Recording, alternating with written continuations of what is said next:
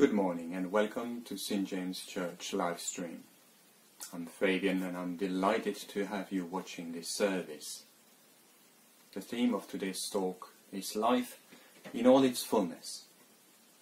It's part of our broad series on the church vision, encapsulated in three words encountering, growing, and participating. We want to be a group of people that encounter God and help others to encounter Him. We want to grow as followers of Jesus and learners, and we want to learn to participate in His life. If you are joining us for the first time, a particular welcome to you.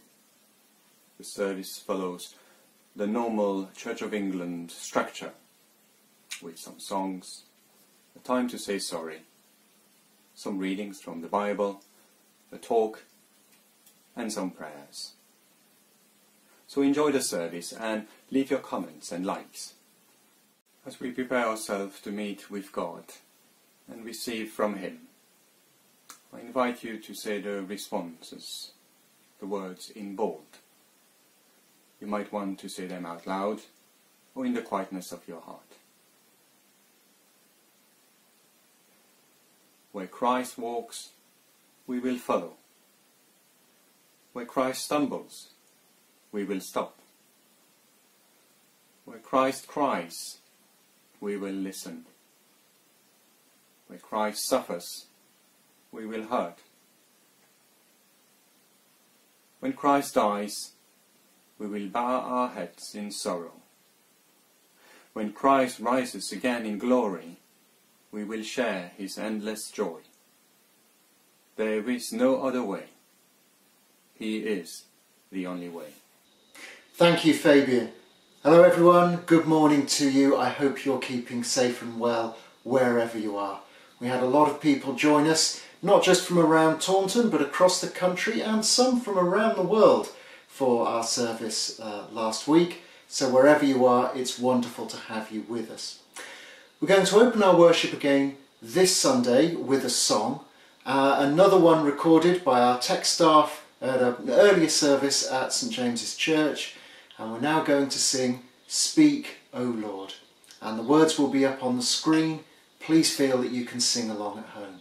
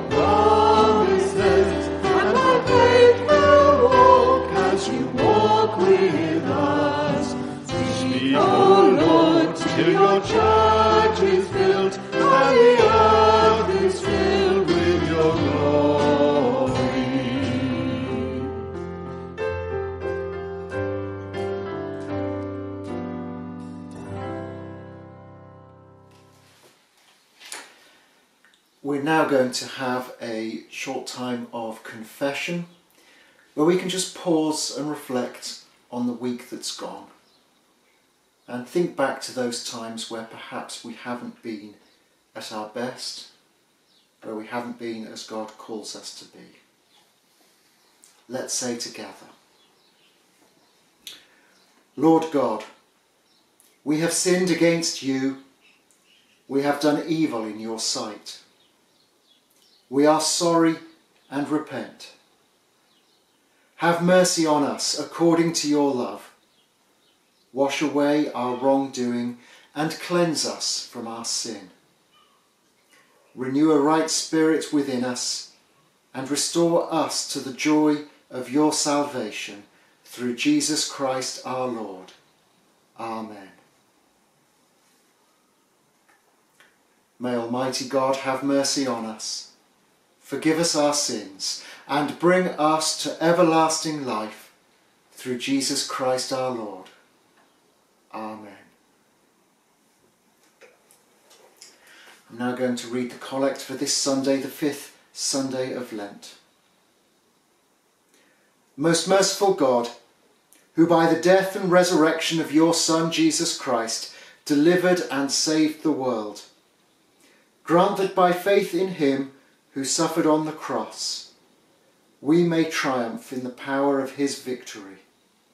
Through Jesus Christ, your Son, our Lord, who is alive and reigns with you, in the unity of the Holy Spirit, one God, now and forever.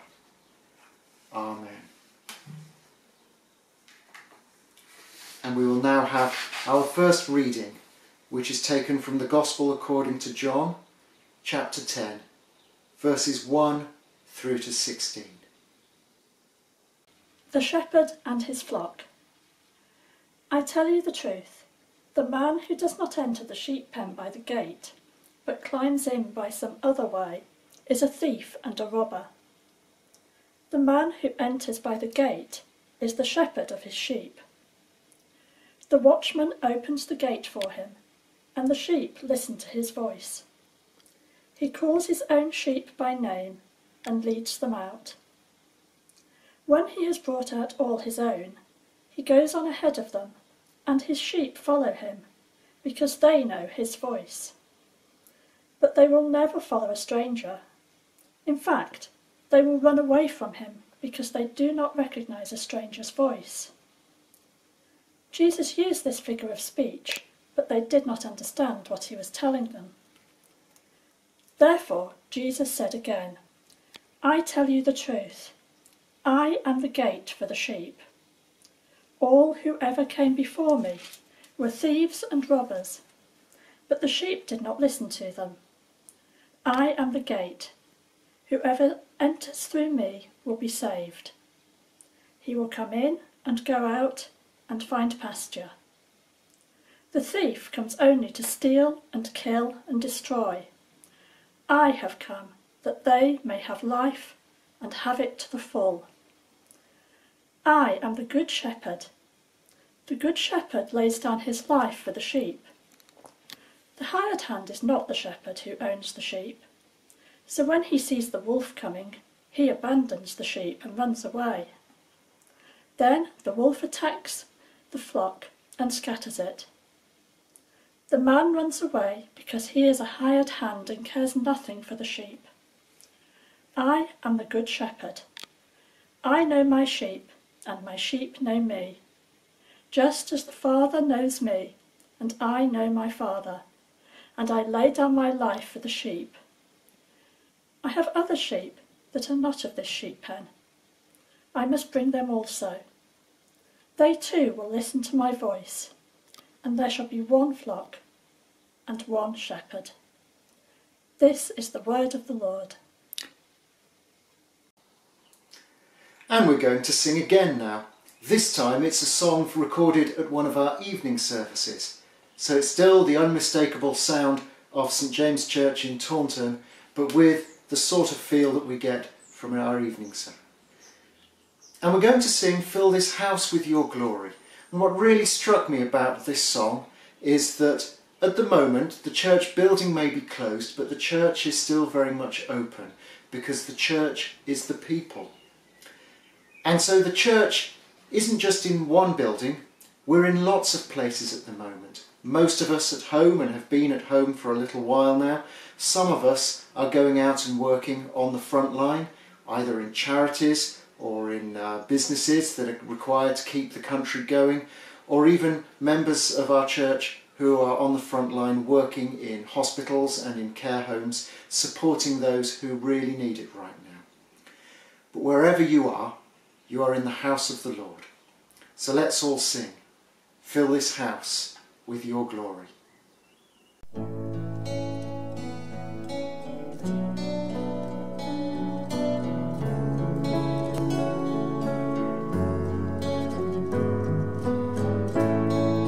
Fill this house with your glory. Fill this house with your glory. Let your presence fall upon us now. For all things are through you, and all things are to you. When the heavens send your glory down. Fill this house with your glory. Fill this house with your glory. Let your presence fall upon us now. For all things are through you, and all things are to you. When the heavens send your glory down. Holy,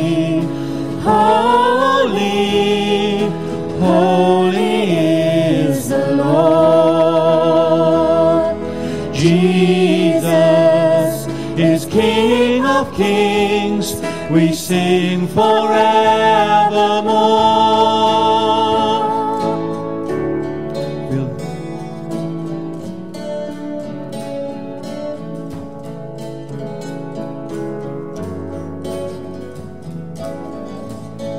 Fill this house with your glory. Fill this house with your glory. Let your presence fall upon us now. For things are through you, and all things are to you. When the heavens send your glory down. Holy, holy, holy is the Lord. Jesus is King of kings. We sing forevermore.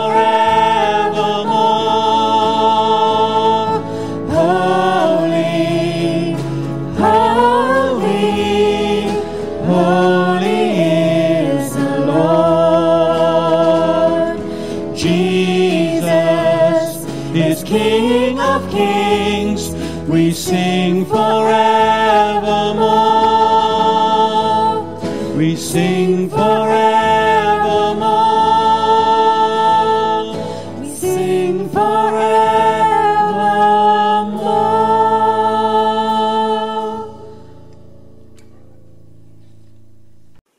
And we're going to have our second reading now, which is from Romans chapter 8, verses 12 through to 17. And after that, we'll have a short talk from Fabian. Therefore, brothers, we have an obligation, but it is not to the sinful nature to live according to it. For if you live according to the sinful nature, you will die. But if by the Spirit you put to death the misdeeds of the body, you will live. Because those who are led by the Spirit of God are sons of God. For you did not receive a spirit that makes you a slave again to fear, but you received the Spirit of sonship, and by him we cry, Abba, Father. The Spirit Himself testifies with our spirit that we are God's children. Now, if we are children, then we are heirs, heirs of God and co heirs with Christ, if indeed we share His sufferings, in order that we may also share in His glory. This is the word of the Lord. life in all its fullness. For ten weeks we've explored the newly discerned vision of the church, encapsulated in three words encountering, growing, participating. Encountering God, growing as followers of Jesus, and participating in the life of His Spirit. We are ending our series with Jesus' uh, famous promise that He has come to bring us life, life in all its fullness. With most, li- most lives put on hold because of the outbreak of the coronavirus, how can this promise of Jesus be experienced and lived out?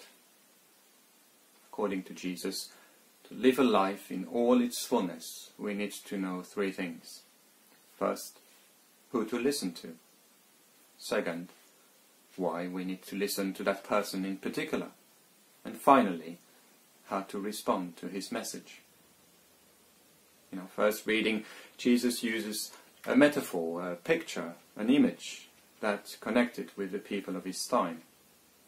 They were familiar with the work of a shepherd. But more importantly, they knew that God was pictured as the perfect shepherd. You might be familiar with Psalm 23. There we read, The Lord, or God, is my shepherd. He gives me everything I need.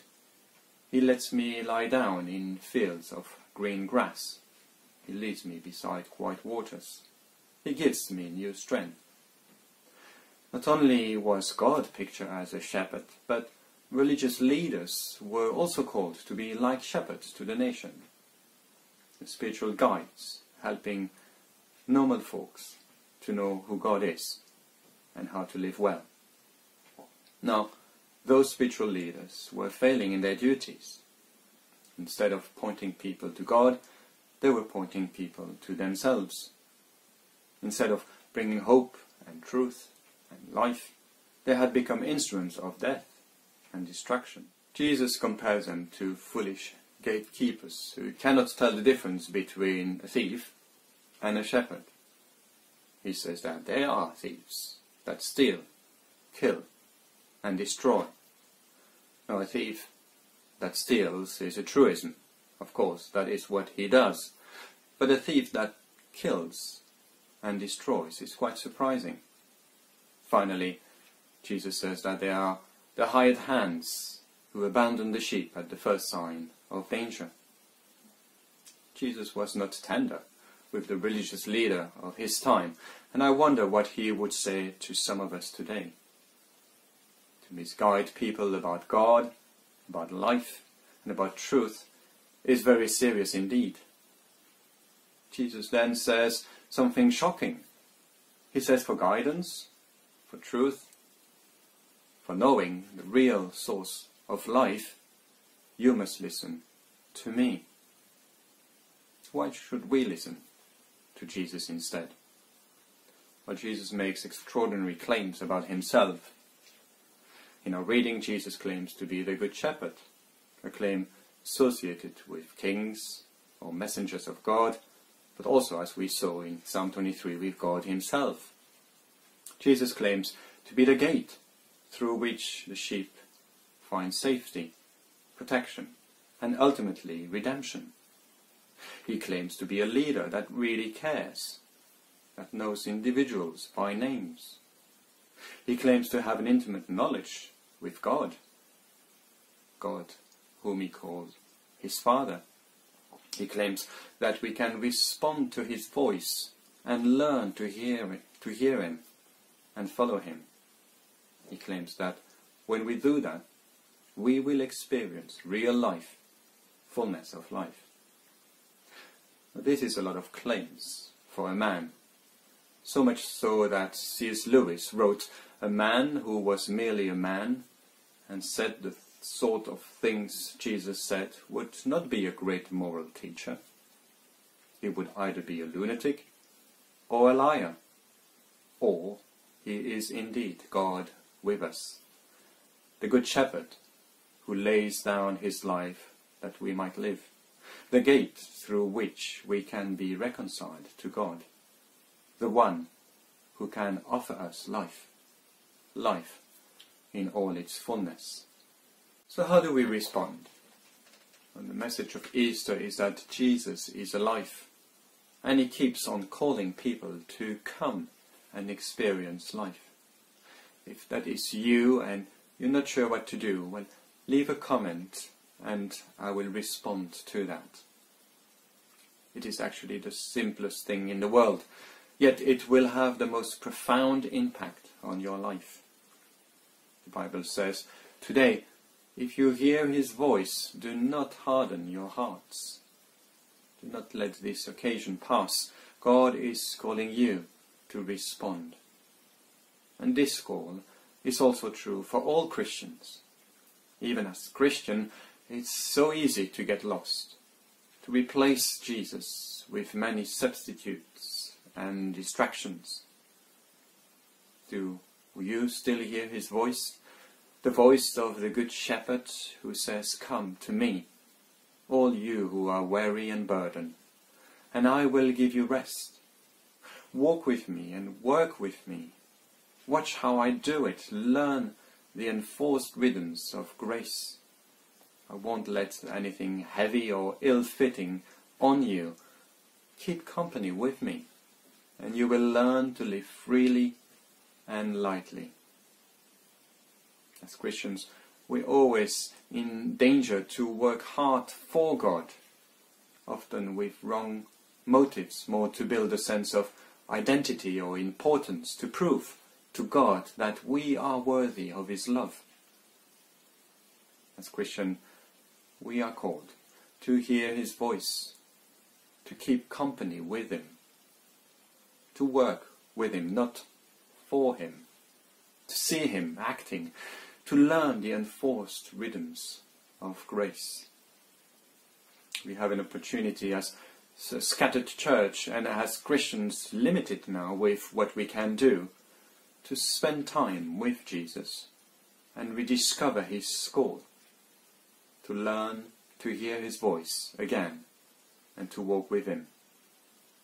So let's take time to pause. Let's resist the burning desire to frantically fill our days.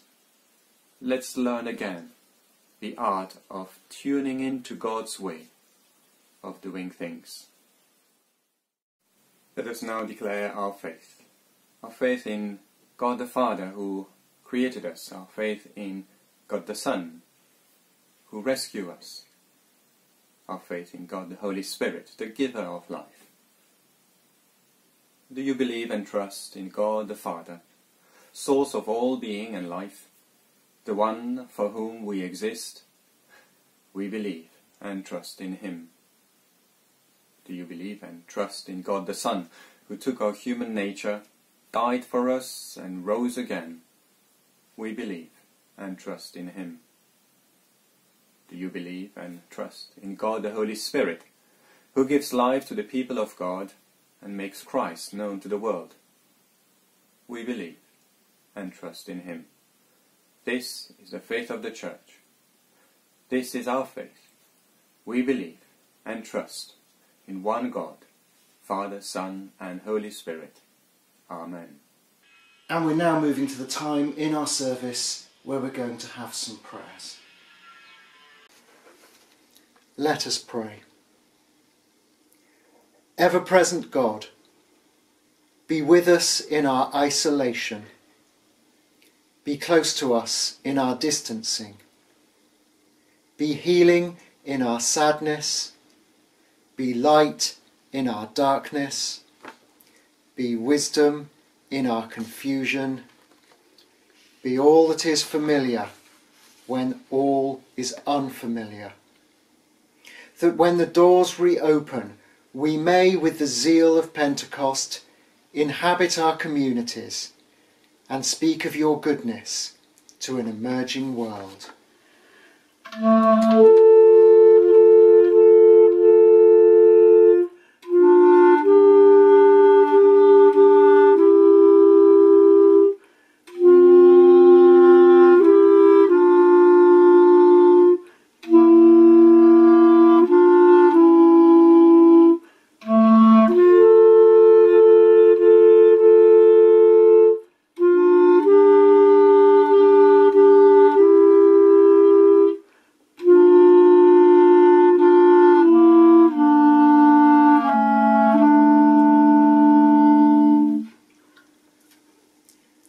Jesus Christ.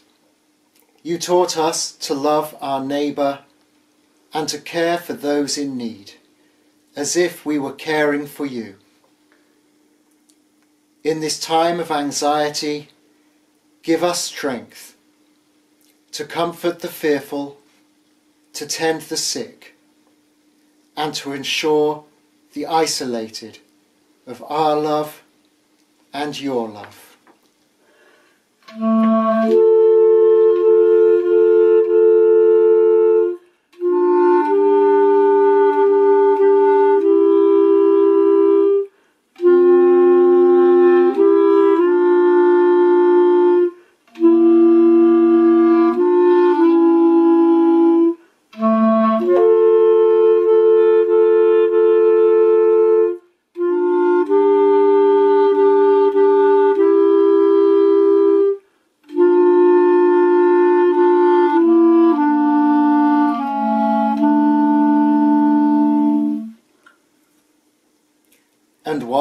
separated and staying inside, we give you thanks for the signs of new life we can see around us, of trees coming into bud, of spring flowers, of birdsong and sunshine. In a time of fear about a new virus, help us to be inspired by your story of new life, reflected in the world waking up around us. Help us to be awake to you and the new life you offer us through Jesus Christ our Lord.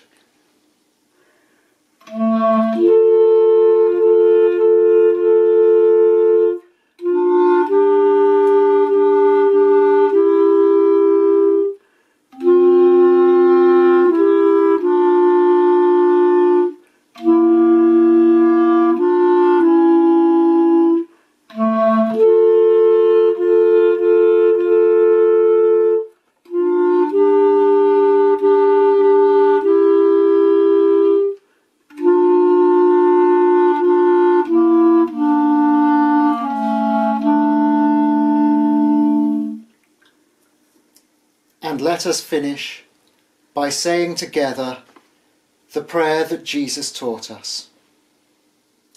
Our Father in heaven, hallowed be your name.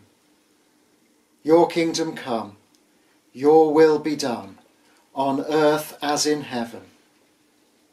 Give us today our daily bread. Forgive us our sins, as we forgive those who sin against us. Lead us not into temptation, but deliver us from evil. For the kingdom, the power, and the glory are yours, now and forever. Amen. In a moment, we'll end our service with a blessing. But before that, a few news from the church. First, a big congratulations to both Alan and Betty Partridge. On Wednesday, it was Alan's 90th birthday, but on Thursday, it was Alan and Betty's 65th anniversary. So, congratulations to both of you. Last Friday, we also remembered before God George Earl. If you want to see the service, it's available online, and the details are to be found on our Facebook.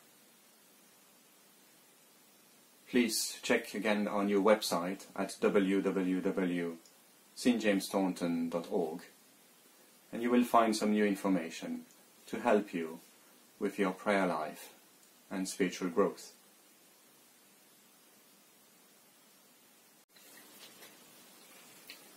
So Christ give you grace to grow in holiness, to deny yourself, take up your cross and follow him. And the blessing of God Almighty, the Father, the Son, and the Holy Spirit be upon you and all those you love, now and forever. Amen. So as a scattered church, let us love and serve the Lord. In the name of Christ. Amen. It was a delight to have you watch this service.